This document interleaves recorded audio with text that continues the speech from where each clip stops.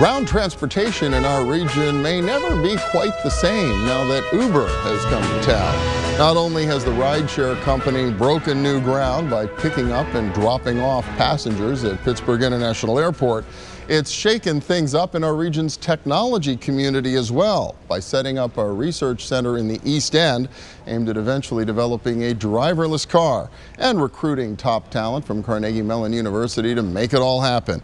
Jennifer Crusius is general manager of Uber Pittsburgh, and welcome. Good to have you. Thank you. Thanks for having me. Yeah, it's a, it, well, it's exciting. You know, you hear about these names, these emerging companies across the country, but when they show up in Pittsburgh, kind of early on, sometimes we scratch our heads here. Why Pittsburgh? What made this market of such interest to Uber?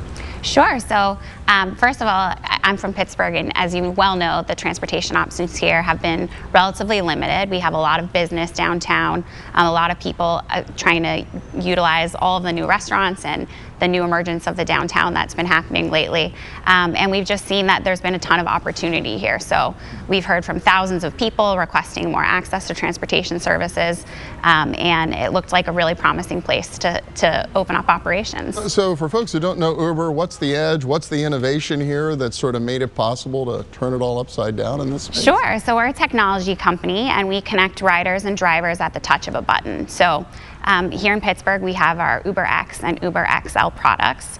Um, UberX is uh, people that have gone through a pretty thorough background check. So we have a seven year state, county, federal, sex offender registry, um, motor vehicle check. And once they're, they would be people like you and me that are driving their own car. They get approved by um, our system. And then once they're eligible to be drivers, uh, a rider can download the app. You would open your app and you'd see where there are available cars. Um, we have a, about a five minute estimated time of arrival here in Pittsburgh. So within five minutes, you could touch a button, have a car come pick you up and take you wherever you'd like to go. I mean, seriously, like pretty much everywhere, anywhere within Pittsburgh, you can get that yep, kind of so response? we service all of Allegheny County, um, and we're also open in 13 other cities in Pennsylvania.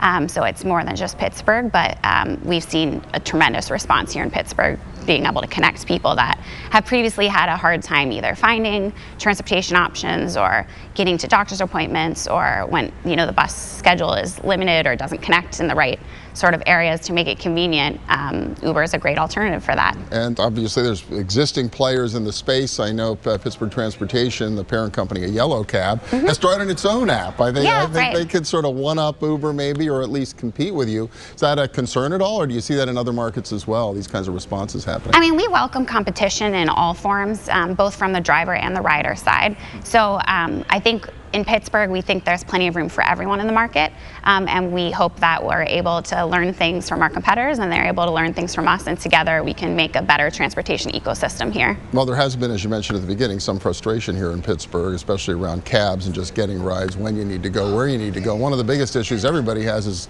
how to get to the airport and how to get back.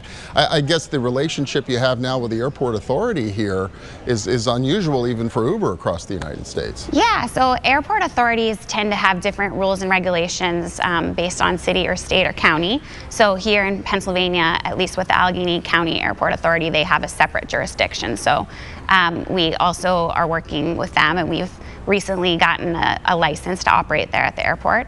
Um, we've always been able to drop off passengers, but this allows us to um, do pickups as well. And, and we're really pleased to be able to connect people that are arriving in town with Pittsburgh and with the places and the people they love here. What about in general in Pennsylvania? Uber's operating on a, what, a provisional license right now, and uh, mm -hmm. what would it take? Legislation to actually make it a permanent, a, a, permanent part of Pennsylvania's transportation? Yeah, so when we entered Pittsburgh, um, there wasn't a license for what we did. Um, so we're not classified as a taxi cab because it's personal cars and because it's an application, so it's um, a different structure. So we worked with the PUC and we got uh, a temporary authority, which gave us a license to operate for a while. And then they passed a two-year license. So um, since January, we've been operating under that two-year license. Um, and the PUC and us and legislators are well as working, sorry, as well are working together to um, get a permanent home for ride sharing in Pennsylvania.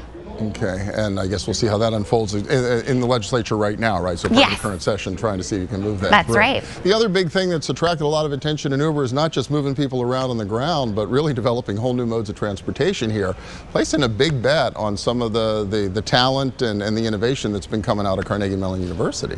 Yeah, we're like thrilled to be working with Carnegie Mellon is obviously a leader in this space, um, especially in robotics and technology in general. Um, so we've been working with them on a, a longer term partnership. Um, in the short term, we're working on mapping and GPS and safety features. Um, I think this is what we see as part of our research and development for a company like Uber um, that wants to be on the cutting edge, um, hopefully forever. And so the kinds of things they're going to be, and you've uh, identified a site in, the, in Lawrenceville, right, where they're going to be setting up the research facility. So real potential then to grow that research presence in Pittsburgh as well over time. Absolutely. So I guess what's in the media future for Uber uh, beyond what we've already talked about?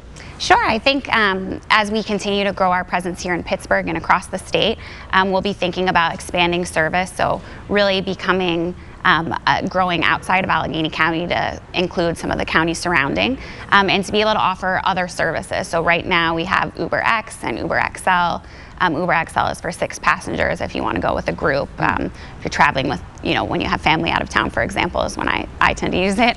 Um, but we'll, we'll have other products that we do have in other markets rolling out here um, and other partnerships to help connect people in a, in a more efficient and effective manner. Oh, crazy! It's been a, generated a lot of excitement, a lot of uh, a, a lot of enthusiasm in so many ways, given some of the issues we've had in Pittsburgh over the years around moving people around. It's so critically important to everybody. Yeah, thanks. We're thrilled to be here, and um, I'd encourage anyone that hasn't given us a try to check us out and see um, what it's all about. All right, very good. Jennifer Crucius from Uber. Thank you so much. Thank you. Yeah. And when we return, a peek at the PieceMaker, a company that prints up new toys right at the toy store. Stay with us.